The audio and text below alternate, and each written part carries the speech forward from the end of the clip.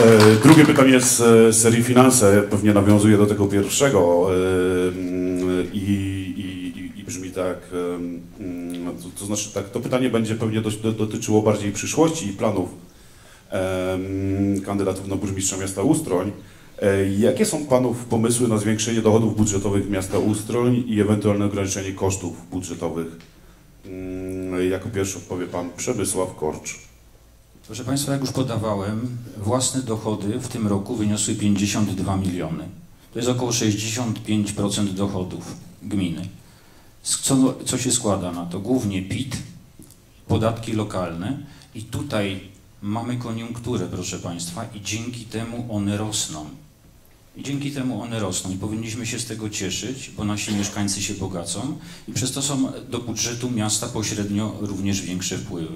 Więc przez stymulowanie rozwoju naszych lokalnych przedsiębiorców możemy osiągnąć wzrost przyrostu dochodów budżetowych i to jest bardzo ważna rzecz. Przez pomoc przedsiębiorcom naszym lokalnym można stymulować wzrost dochodów budżetu. Drugim elementem jest ograniczanie wydatków bieżących rozsądnie. Prawda?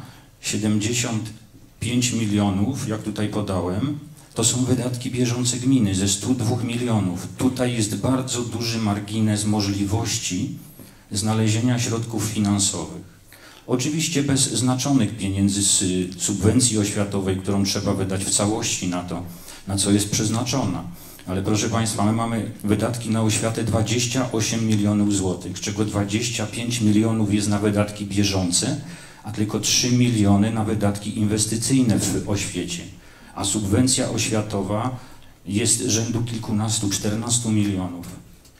Więc proszę Państwa, my dopłacamy drugie tyle z własnych pieniędzy.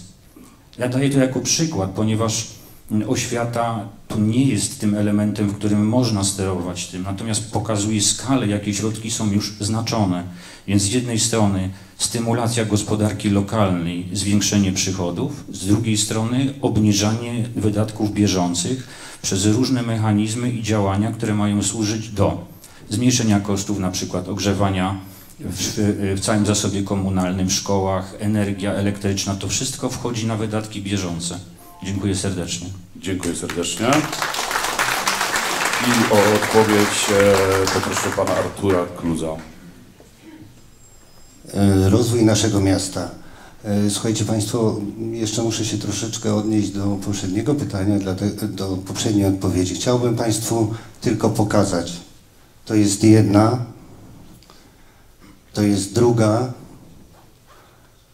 opinia RIO dotycząca i budżetu miasta 2018 roku i wieloletniej prognozy finansowej, czyli tego, o czym Pan Przemysław przed chwilą mówił, że jest zagrożone. Obie te opinie są pozytywne. Natomiast poprzez rozwój możemy zwiększyć dochody miasta. Poprzez rozwój przedsiębiorstw, w naszym przypadku, w przypadku naszego miasta, przede wszystkim rozwój turystyczny. Czyli te inwestycje, które są już rozpoczęte i planowane, zarówno miejskie, typu basen, będzie napędzała infrastrukturę dla rozwoju naszego miasta. Ścieżka koronami na, drzew na Czantorii będzie mogła, dzięki wybudowaniu jej, będzie kwitł przemysł turystyczny, czyli dochody dla naszego miasta, oczywiście też praca dla naszych mieszkańców.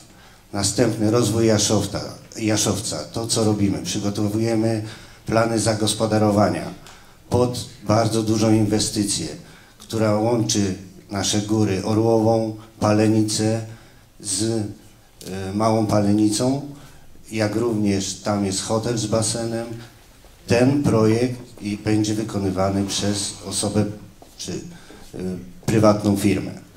Natomiast owszem, ograniczenie wydatków poprzez normalizację, przede wszystkim normalizację, przez normalizację rozumiem zmniejszenia kosztów energii poprzez termomodernizację budynków wszystkich komunalnych, jak również wykorzystanie środków zewnętrznych.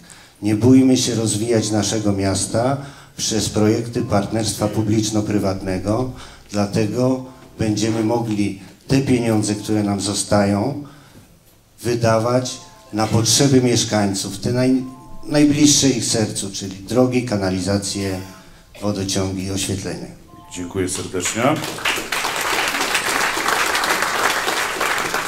Proszę Państwa, blok finanse e, już za nami. Być może jeszcze e, warto o tym byłoby porozmawiać. Podejrzewam, że w pytaniach z sali takie pytania mogą się pojawić, ale przejdźmy do inwestycji.